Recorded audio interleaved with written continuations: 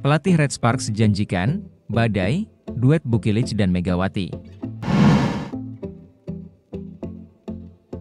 Pelatih Red Sparks Ko Hejin tetap puas dengan penampilan timnya meski kalah dari Hillstate 1-3 pada final Kovo Cup 2024. Ko Hejin yakin duet Vanja Bukilic dan Megawati Hangestri Pertiwi akan lebih berbahaya di v Pada laga final Kovo Cup 2024 di Tongyong Gymnasium, Korea Selatan, Minggu 6 Oktober, Red Sparks kalah 1-3 dari Hillstate.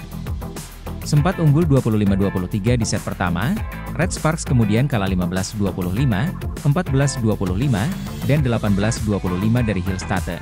Ko Hejin mengatakan alasan Red Sparks kalah pada final Kovo Cup 2024, yang merupakan turnamen pramusim Liga Voli Korea Selatan, karena kondisi fisik para pemain yang belum prima.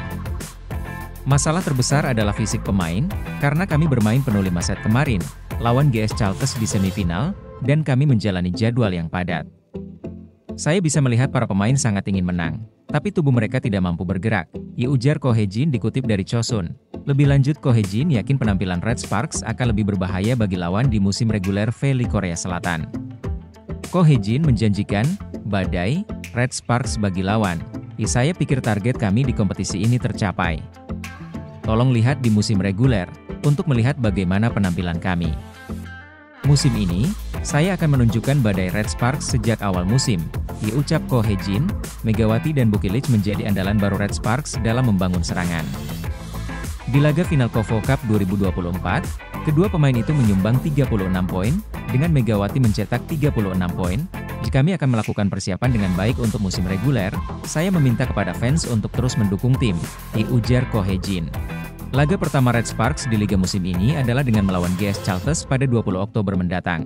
Tak hanya menumbangkan tim-tim besar seperti IBK Altos dan Pink Speeders, penampilan Megawati Hangestri dan kawan-kawan juga tak begitu mengecewakan di final kontra Hyundai. Hillstate Red Sparks bahkan sempat unggul di set pertama berkat permainan ciamik dari Vanja Bukilic dan para pemain lain. Pencapaian Red Sparks ini membuat banyak media di Korea memberikan sorotan.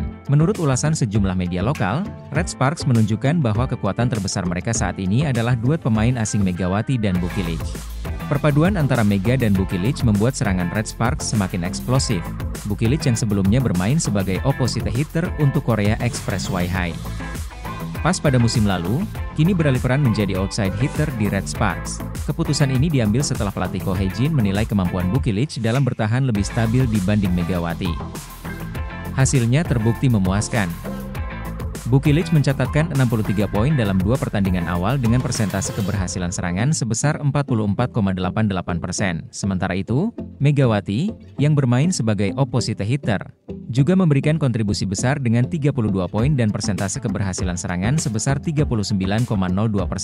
Di sisi lain, Tio Sungju menambahkan 27 poin dengan efisiensi penerimaan sebesar 37,50%.